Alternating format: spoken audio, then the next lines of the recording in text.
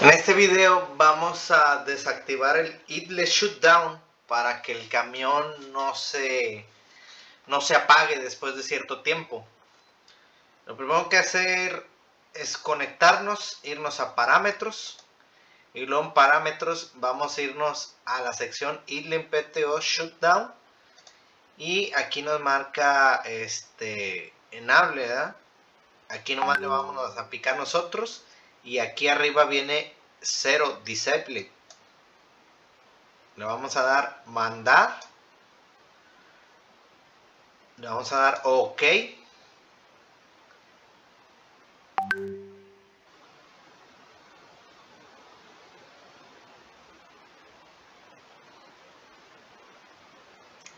Y va a estar listo. En esta sección de abajo nosotros podemos modificar el tiempo si lo necesitamos el valor máximo son 5000 segundos. Que si nosotros hacemos la conversión de 5000 segundos entre 60, que trae un minuto, viene siendo 83. Y 83 entre 60 minutos que trae una hora es una hora y media, una hora 40 minutos aproximadamente. Pero en este caso pues ya lo tenemos desactivado y no lo necesitamos más. Es todo.